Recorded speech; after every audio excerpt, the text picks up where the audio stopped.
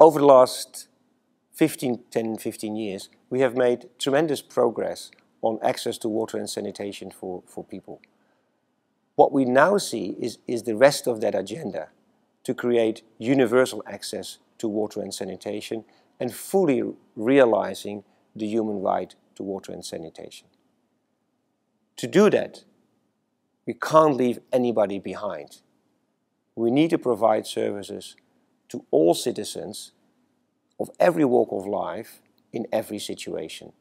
And this agenda is an important agenda that we need to make our, our top priority, I feel.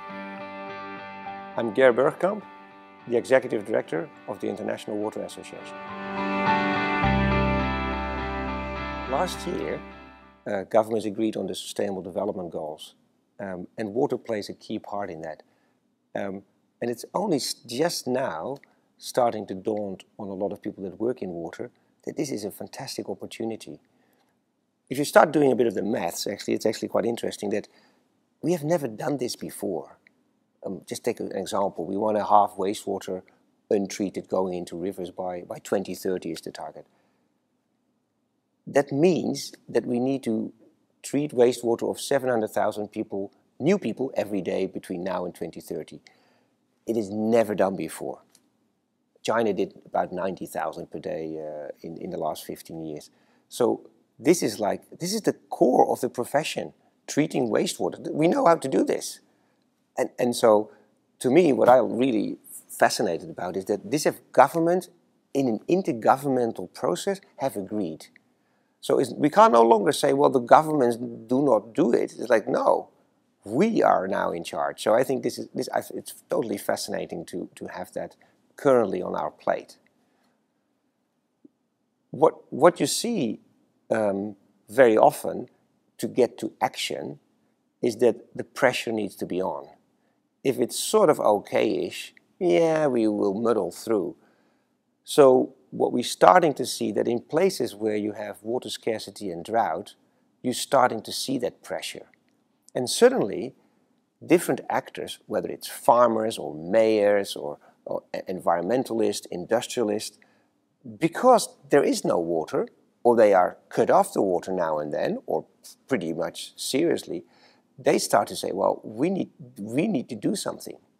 And that's the opportunity that, as an example of what an opportunity is that comes from the agenda with a reality that is changing rapidly.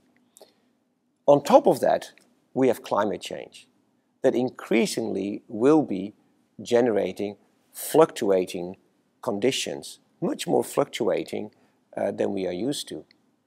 So we used to plan our water on long-term averages.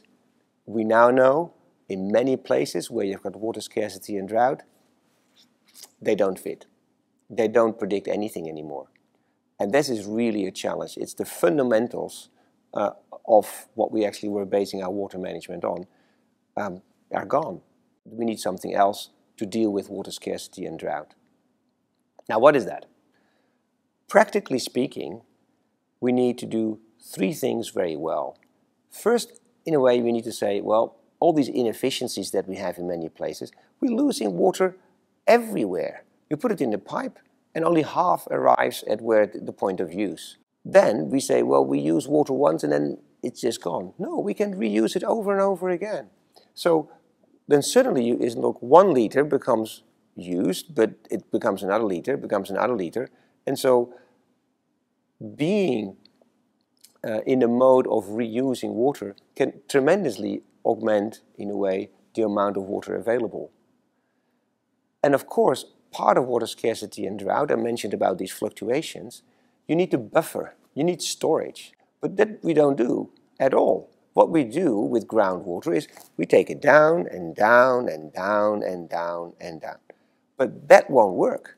So we need to replenish the aquifer. And in a way, if you, if you start putting that all together, it starts to feel like well, let's create a, a water-wise world. Wisdom is needed because this is not so easy because otherwise we would have done it.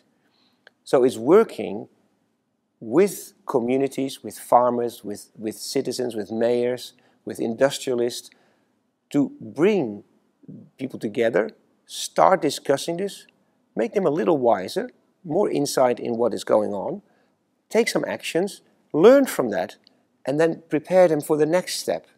Because we need to be making a lot of steps along the way towards water security. We won't leapfrog everything. Hopefully we will have some leapfrog little, but we will have to bring communities along in a step-by-step -step process to build the water security that they will need for their economy, for their health and their prosperity.